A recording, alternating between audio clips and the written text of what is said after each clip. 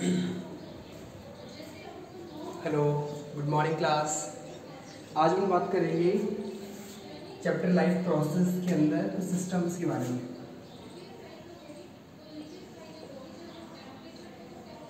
Right life process के अंदर human being के अंदर जनरली जितने भी सिस्टम्स पाए जाते हैं, उन सिस्टम्स के बारे में बात करेंगे। सबसे पहले we will talk about digestive system right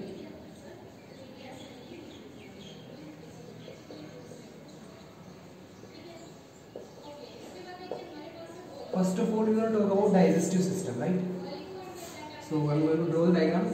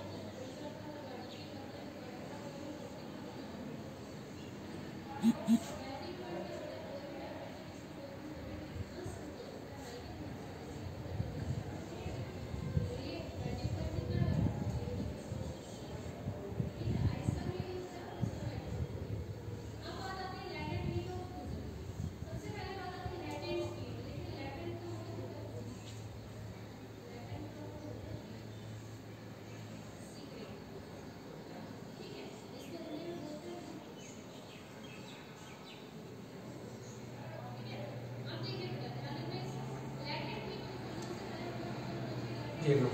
ये बन गया अपना डाइजेस्टिव सिस्टम राइट तो अब अपन देखने वाले हैं कि डाइजेस्टिव सिस्टम होता क्या है। सबसे पहले बात करते हैं सिस्टम्स क्या होते हैं। सिस्टम्स ऐसे स्ट्रक्चर्स होती हैं जो कि ऑर्गन से मिलकर बनी हुई होती है। किससे मिलकर बनी हुई होती है? ऑर्गन से मिलकर बनी हुई होती है। ऑर्गन ऐसे स्ट्रक्चर होती है जो टिश्यूज से मिलकर बनी हुई होती है। और टिश्यूज ऐसे स्ट्रक्चर होती है जो कि सेल से मिलकर बनी हुई होती है। So we can say cells are structural and functional unit of life life की जो है सेल स्ट्रक्चरल और फंक्शनल यूनिट होती है group of cell are forming tissues right and tissues are forming organs organs are forming systems and we are talking about digestive system digestive system के अंदर जो है डाइजेस्टिव सिस्टम को mainly दो parts में divide कर रखा है. Number one is digestive glands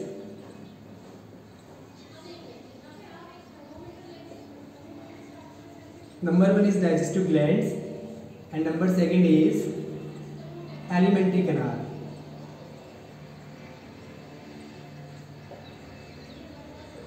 number second is alimentary canal digestive glands जो है बेसिकली ह्यूमन बॉडी के अंदर तीन डाइजेस्टिव ग्लैंड पाई जाती है। Number one is parotid gland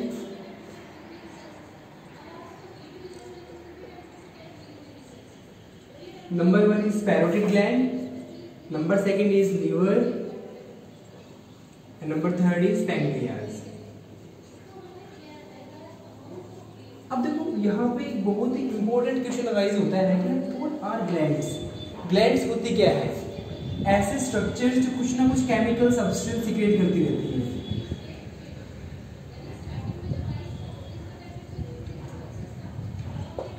ऐसे स्ट्रक्चर्स जो कुछ ना कुछ केमिकल सब्सटेंस को सिक्रेट करती रहती हैं those structures are known as glands right तीन ग्लैंड्स हैं parotid gland parotid gland generally secrete करती है saliva. Okay pancreas secretes pancreatic juice.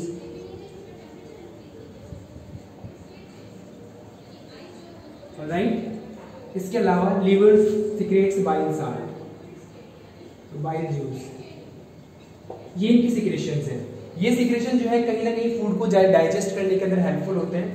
Saliva जैसे मतलब कि suppose that if we are eating the food अपन खाना खा रहे हैं, और जैसे च्यूइंग करते हैं, खाने के अंदर सलाइवा मिक्स हो जाती है। सलाइवा मिक्स होने के बाद में that food is known as bolus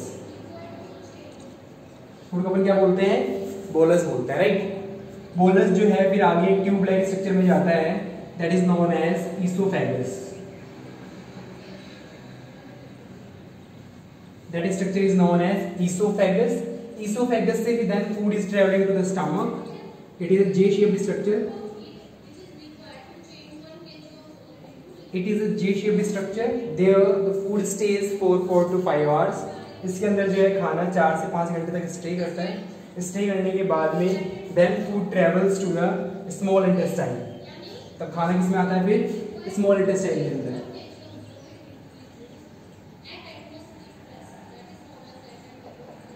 small intestine small intestine के अंदर जो है स्मॉल इंटेस्टाइन की अगर अपन इनर स्ट्रक्चर देखें तो इसके अंदर कुछ फिंगर लाइक प्रोजेक्शंस पाई जाती हैं। These finger like projections are known as villi right इसके अंदर जो है, इन विली लाइक स्ट्रक्चर के अंदर खाना एब्जॉर्ब होता है। एब्जॉर्ब होने के बाद में एब्जॉर्ब होने के एब्जॉर्ब होने के बाद में जो है food travels by the help of blood and reaches to the every part of body अब जो रिमेनेंट है, वो कहाँ पे आ जाता है? एक coil structure that is known as large intestine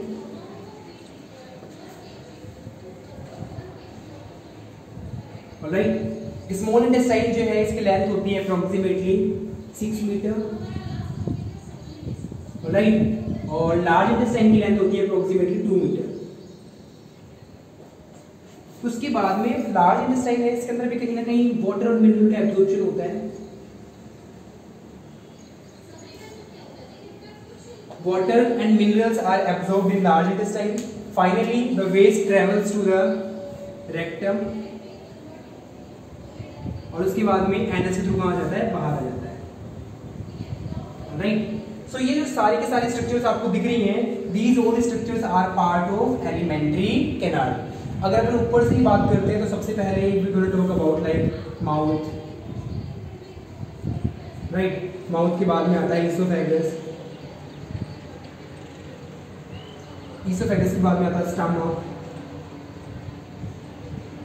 stomach के बाद में आता है small intestine.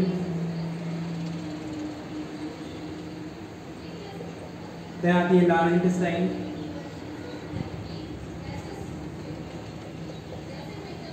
And large intestine के बाद में rectum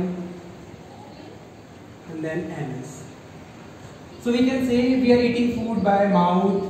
Mouth has teeth. We are chewing the food, right? उसके बाद में माउथ के अंदर जो है पैरोटिड ग्लैंड्स पाई जा रही है secreting saliva now food is converted into bolus bolus is coming to the oesophagus right इसमें आ रहा है? इसोफेगस में। इसोफेगस से then food is travelling to the stomach stomach के अंदर ट्रैवल कर रहा है। स्टमक के अंदर food stays for four to five hours stomach जो है अपना सिक्रेशन करता है और दैट इज़ नॉन